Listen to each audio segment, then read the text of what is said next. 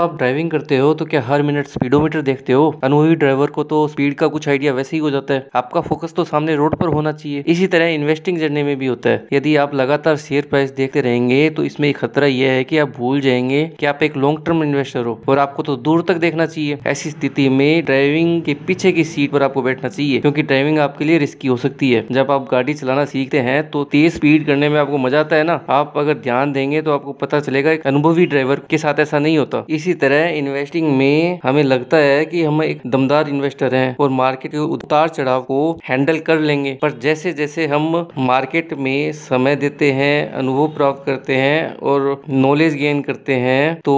एक अनुभवी ड्राइवर की तरह हमें पता चलता है कि मजा तेज स्पीड करने में नहीं है बल्कि गाड़ी खुद ब खुद चले इस चीज में है इस प्रकार धीरे धीरे आपका फोकस कंपाउंडिंग में शिफ्ट होने लगता है तो सारी बातों का निचोड़ ये है कि